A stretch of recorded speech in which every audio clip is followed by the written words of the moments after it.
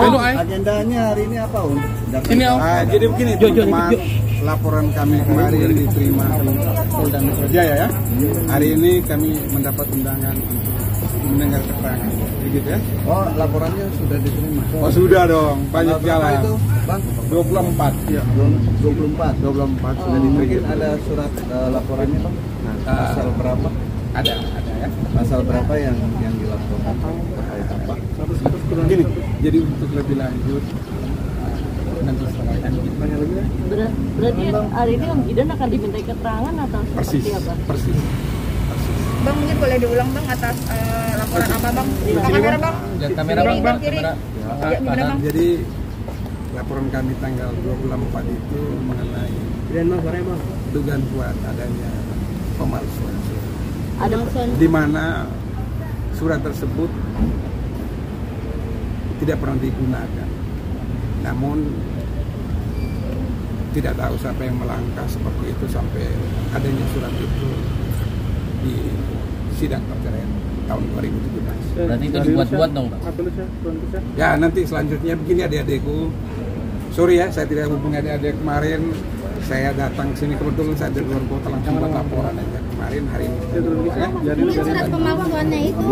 Surat apa aja bang? Terkait apa, Bang? Surat pemalsuan yang Nanti setelah saya dari dalamnya karena undangan kita itu sudah dari tadi. Oh, Mengantar aja dulu. Ada persiapan lagi nggak Bang? Ada persiapan lagi? Awas, awas. Pelan-pelan Om. Ya udah, sini lah. Dalam Nanti ya? Iya, ya, Bang. Tunggu di situ, Bang. Jangan lama-lama ya, Bang. Dah. Bang, tadi di dalam gimana, Bang? Indri sini lagi, Bang. Indri udah nggak usah bang Dino nggak usah Yo bang gimana bang tadi di dalam bang Oke terima kasih ya Tadi kami sudah memenuhi undangan dari Bapak-bapak polisi penyidik ya.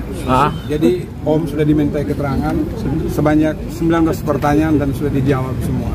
Ya. mungkin perihal apa aja om? Perihal apa aja om? Nah, jadi perihal mengenai dugaan.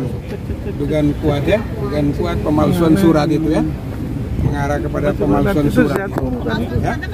Belum, ini satu ya yang berkepentingan. Yang berkepentingan tentunya eh, RAB ya Ya, di itu. Belum, Bang. Surat apa sih om? Mungkin yang di ya surat itu yang dibawa ke pengadilan itu yang menyatakan bahwa Om menerima untuk bercerai sudah bersepakat bercerai dan Om tidak menghadiri sidang perceraian. Dan celakanya dari awal itu alamat yang digunakan itu alamat yang dimasukin ke pengadilan negeri Jakarta Pusat itu alamat nggak benar nggak sesuai dengan KTP KTP-nya Om kan Bogor ya Om ya Kabupaten Bogor. Bang, yang dilaporin siapa sih, Bang? terlapornya siapa yang bang? dilaporkan ya yang punya kepentingan tentunya. Siapa, Bang? RAB RAB nanti teman-teman bisa. anak-anak masuk dua nama itu masuk semua itu yang membawa surat ke atas yang mengiming-imingi sehingga Om mau tanda tangan. Yang kita sayangkan Om itu dikasih tahu bahwa akan diceraikan ya kan? Tahun 2021 sayang dan celakanya surat itu dipergunakan 2017 kaget Om ya kan kejadian sudah lampau 2017 bertemu Om baru 2021 minta tanda tangan dan suratnya persis dengan yang dipergunakan di Pengadilan Negeri Jakarta Pusat. Om Gideon kenapa sampai akhirnya menyeret nama anak-anak Om Gideon buat buat uh, pelaporan ini Om? Karena kenyataannya harus demikian. Ini? Jadi untuk kamera bukti, saksi. Astaga, kayak gitu ada bukti dan saksi ini kemudian membutuhkan. Jadi ini, udah ada LP-nya belum om? ya permisi, permisi. Oh ya Om, ya Om, ya makasih Om Gideon.